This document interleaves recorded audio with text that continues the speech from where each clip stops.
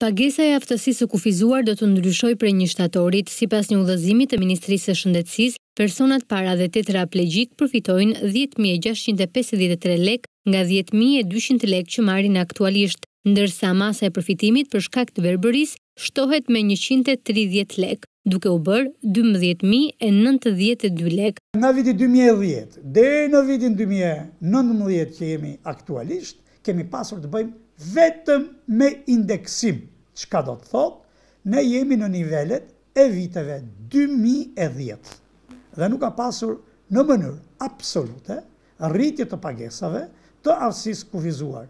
Ardian Hysa shprehet se pagesa që përfitojnë nuk u mjafton për të përballuar nevojat dhe se janë në kushtet e mbijetesës. Kjo pagesë është shumë e vogël përpara të gjitha nevojave që u lipsen apo që u duhen apo që u duhet të plotësojnë personave me aftësi të kufizuar, madje, madje, madje, kjo është nën minimumin jetik. Hysa paralajmëron protesta në shtator nëse nuk do të ketë reagim nga qeveria për kërkesat që kanë parashtruar. Nëse nuk do të ketë konkretisht qëndrim publik në lidhje me tërheqjen ndaj tentativës,